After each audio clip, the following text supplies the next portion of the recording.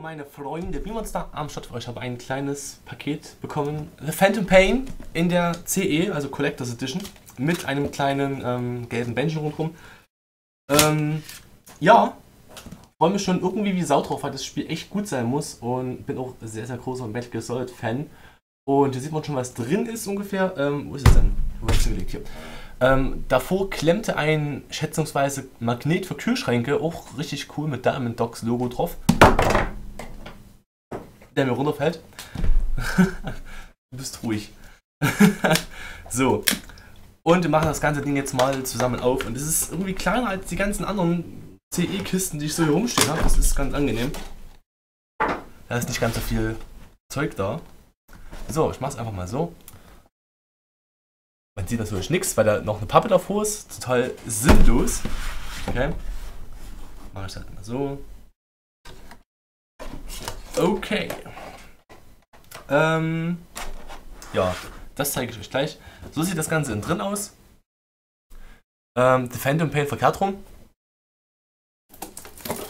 So viel dazu. Das ist das Spiel natürlich, Metal Gear Solid 5. Ähm, wir haben dazu noch ein wunderschönes Steelbook denke ich mal zuklappen. So, so sieht das Ganze aus. Steelbook, auch sehr, sehr nice gemacht. Mit Big Boss und ähm, Ocelot, wie es aussieht, und Miller. Und das Ganze hat ähm, natürlich noch ein bisschen was innen drin. Dann haben wir wahrscheinlich noch ein Poster und eine Blu-ray. Hm, was da wohl drauf ist. So. Afghanistan. Werde das Ganze jetzt inzwischen nicht aufklappen, weil das viel zu, viel zu groß wäre. Äh, Nordkabul, Afghanistan. Eine Karte. Ich schätze mal, das wird eines der Gebiete sein, in das wir in The Phantom Pain reisen werden. Also, Fälle schon mal nicht mal so dumm. Ja, das Spiel natürlich dazu. Logischerweise wäre es sonst witzlos, wie bei Wolfenstein, wo es die CE gab ohne Spiel. Was natürlich total dumm ist. Pappe, Plastik und ähm, als Special gab es den Arm von ähm, Big Boss dazu. Ich frage mich gerade, warum hier dieses Ding drin ist. Also unten noch Plastik ist. Total dumm. Und ähm, ja, die Finger sind frei beweglich. Das heißt, ihr könnt auch natürlich hier so Schabernack machen wie hier, ähm, ja, Peace oder einfach so. natürlich schon nice. Ähm, ja, ist natürlich nichts Weltbewegendes, das ist Plastik, das ist halt jetzt nichts mega hochwertiges. Kam äh, 90 Euro? 90 und sagt 90 Euro? Ja. Ich dachte 90 Euro kam's. Und ähm, ja, für Metal Gear Solid-Fans, sagen wir so, das ist das letzte Spiel, wo Hideo Kojima mit äh, dran gearbeitet hat. Und da ähm, gebe ich das natürlich gerne aus. Und ähm, ja, warum nicht, warum nicht?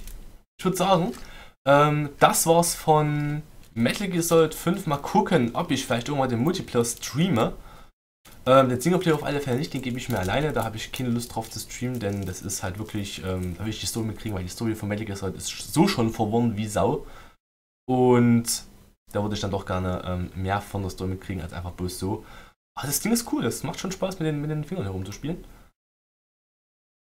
Und ähm, ja, ich würde dann sagen, es ist schon geil. Finde vielleicht noch raus, warum unten Plastik drin ist. Keine Ahnung. Also dieses komische Verpackungsmaterial ist noch hier unten mit drin. Total blöd.